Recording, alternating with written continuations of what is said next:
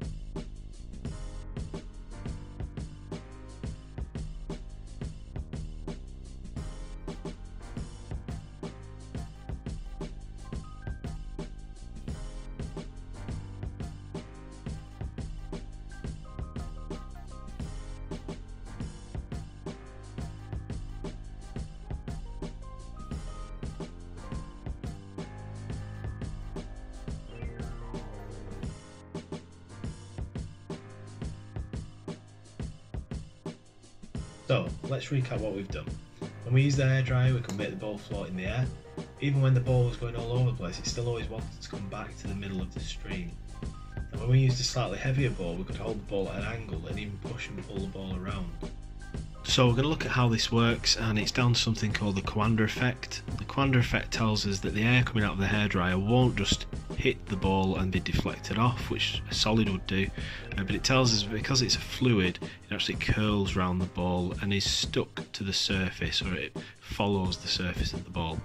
So as the air comes out of the hairdryer, follows the surface of the ball, it's actually trapping it in a stream of air. It's not just lifting it up uh, from below, it's actually trapped in the air. It's the reason why even when it is quite turbulent and moves around, it wants to come back into the centre of the stream. So it's always getting pushed into the centre. It's also the reason why if I tilt the hairdryer, I can actually pull the ball along because it's being pushed into the centre of that stream. That obviously wouldn't work if it was just supporting it from underneath, um, but because it's trapped in that stream of air, that does work. Thank you all for watching and we hope you're enjoying this year's Science and Technology Festival. Don't forget to share your photographs and videos on our Facebook page and just to add, by doing so you are giving us permission to repost them.